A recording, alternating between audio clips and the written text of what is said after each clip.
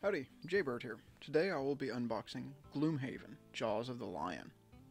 This is for 1 to 4 adventurers, ages 14 and up, that plays in about 30 minutes per player per adventure. This is actually a standalone expansion to Gloomhaven that adds 4 additional characters. The Demolitionist, the Hatchet, Red Guard, and Voidwarden.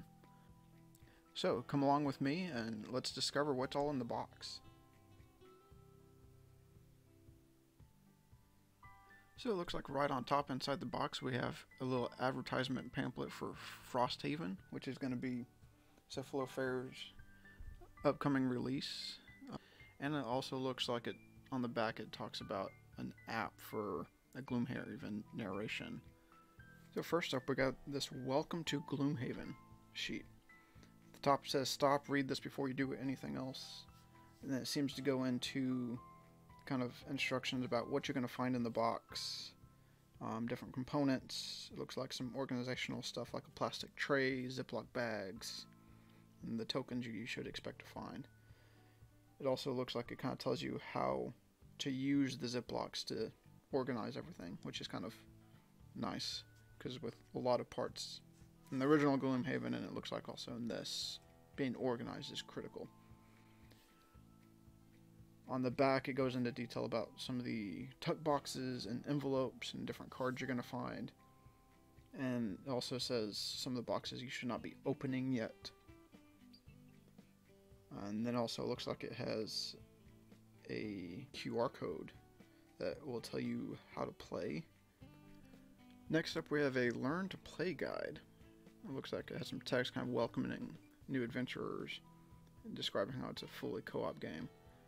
And also, uh, look at that art for that potion bottle and that crystallization on it. That's really fun artwork. And then we also have, next up is a glossary.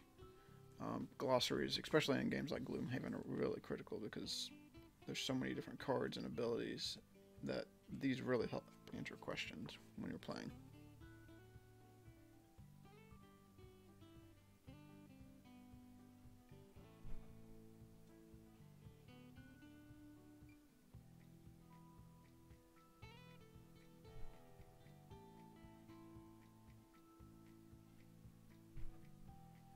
Now we have a supplemental scenario book and also uh, the main scenario book. Looks like both of these have maps and a lot of the core storyline you'll be playing through during the game. So instead of having map tiles, you're primarily using these books, so you're staying more organized. Next up, it looks like we have some punch boards, a lot of different components for in-game play, um, some elemental type stuff. Looks like a lot of monster stuff and various chits. Uh, looks like six total punch boards.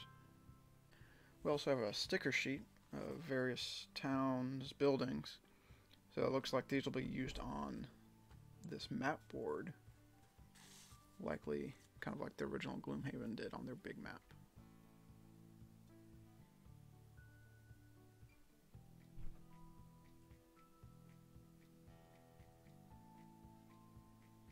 Let's see, these are some of the health trackers, kind of like we've seen in Gloomhaven. Um, dial on each side. And now we got an, uh, an organizational tray with a lid on it. That's pretty nice.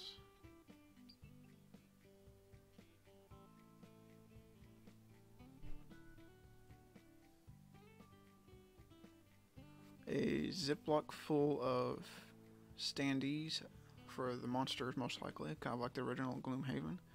We got a roll of Ziplocs. Those are critical for staying organized in a large game like this. And it looks like there's multiple decks of cards, kind of like the original Gloomhaven. There's sets of cards for the monsters, there's item cards, there's story-based cards that drive the game forward that you make a decision between. Looks like they come in two different types of packages, one that's completely sealed, and then some that are in kind of like the sticky envelope style pack so you can put them back in if you like. In this bottom compartment we have some of the main monster cards and it looks like we also have a couple of dividers for the cards themselves and the envelopes that the monster cards sit into.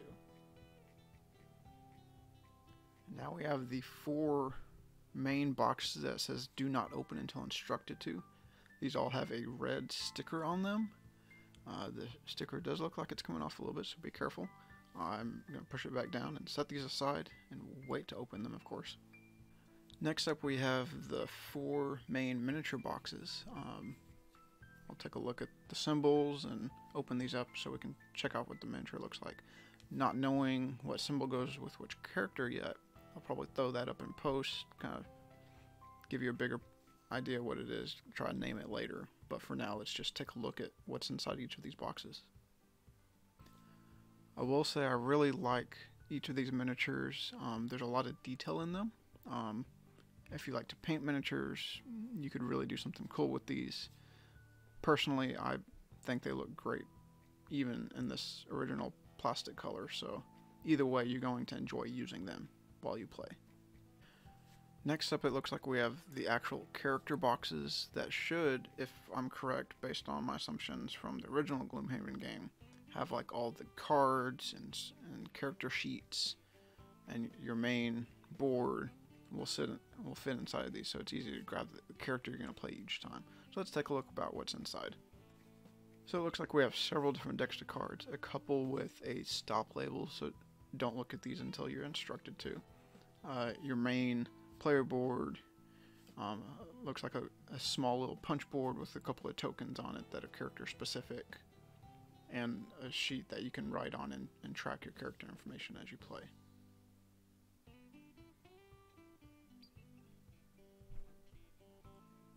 So that's what came in the box of Gloomhaven, Jaws of the Lion. Um, I'm going to spend a little bit of time punching everything out, organizing it, which you can watch at the end of this video. So thank you for watching. And as always, play games and spread joy.